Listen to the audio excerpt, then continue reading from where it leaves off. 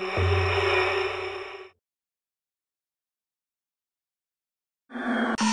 you.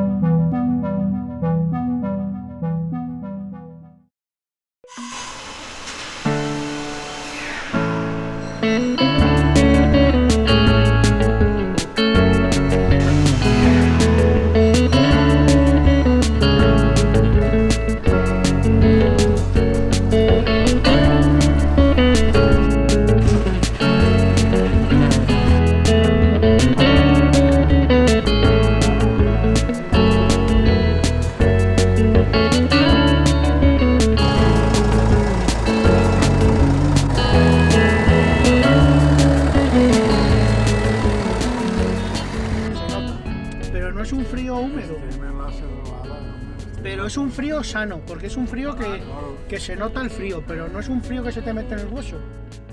Nos encontramos en la Sierra de Espadán, donde tenemos varios pueblos como Eslida, Artana, Aín, y concretamente nos encontramos en Eslida, donde estamos al lado de un árbol típico de la zona. Es un árbol pues muy característico que impulsa lo que es la economía también de estos lugares, donde se extrae el corcho. El corcho en estas fechas tan navideñas, pues por ejemplo muchas botellas de champán, de vino, van a tener corcho de, de esta zona. Ahora para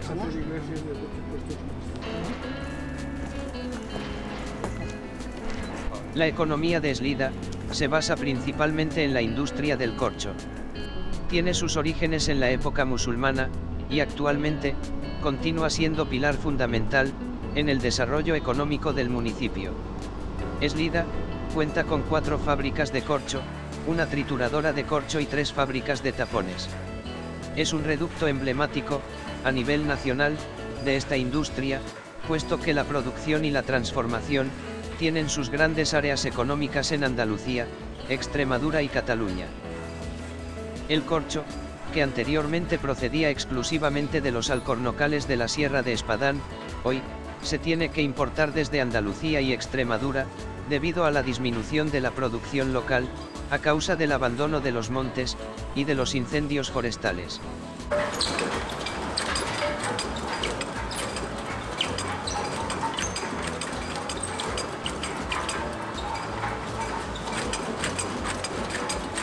La agricultura, ha perdido fuerza en los últimos años, debido a la emigración, y al abandono de las tierras, puesto que en la actualidad, no reportan suficientes ingresos para subsistir.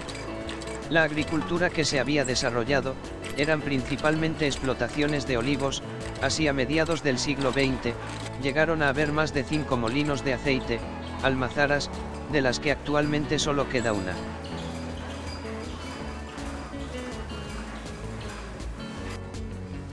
Nos encontramos en una de las fábricas de la Sierra de Espadán, donde se manufactura el corcho. En estas operaciones principalmente salen tapones para cubrir lo que son las botellas de champán y vino, donde en estas fiestas muchos de estos tapones saldrán de estas fábricas de la zona del Alto Maestrazgo.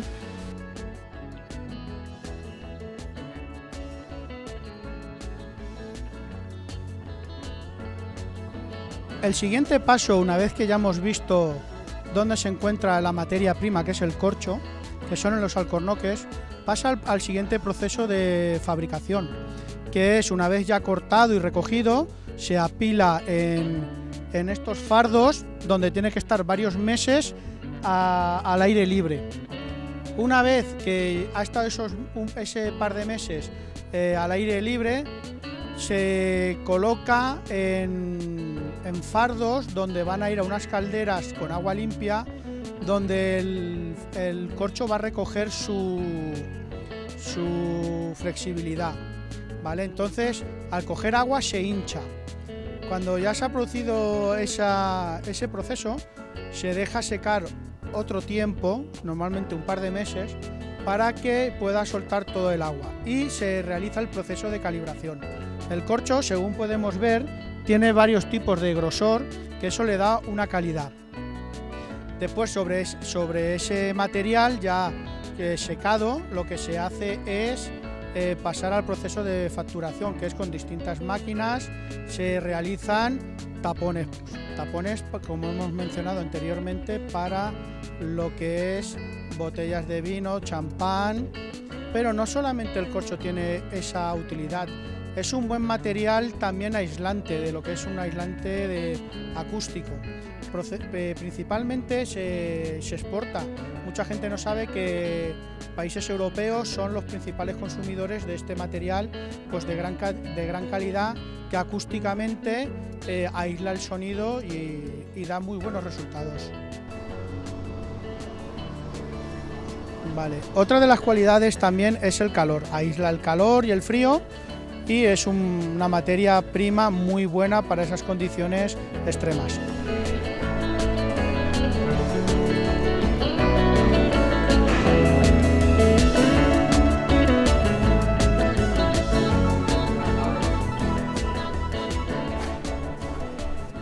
A mediados de los 80, existían numerosos productores locales de miel, para los que la apicultura les servía, como complemento económico a la agricultura. En la actualidad, aún se sigue comercializando con la miel, pero solo quedan una decena de productores, algunos de los cuales, comercializan la miel de forma autónoma y artesanal.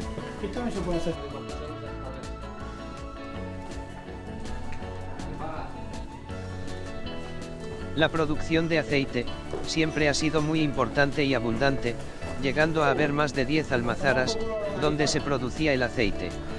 Hoy en día, solo hay una almazara donde se elabora la mayor parte de la producción local, aunque no tiene carácter comercial.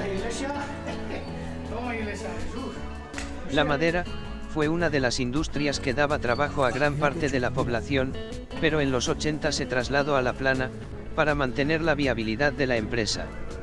Aún así los trabajadores locales siguieron con su trabajo, y muchos de ellos siguen residiendo en Eslida. Gracias al corcho y a la apicultura, el sector del transporte alcanzó un gran impulso, sobre todo entre los años 60 y 70. Aún hoy parte de la población mantiene este oficio, dedicándose al transporte de corcho, construcción, la naranja y la industria cerámica. El turismo, en un futuro puede, ser un eje importante en la economía de Eslida. Gracias al turismo, Eslida puede obtener beneficios por los visitantes de fin de semana, en el alquiler de viviendas, en la compra en los comercios locales, de productos típicos, como la miel, y sus derivados. Si te ha gustado, un like por favor, suscríbete al canal.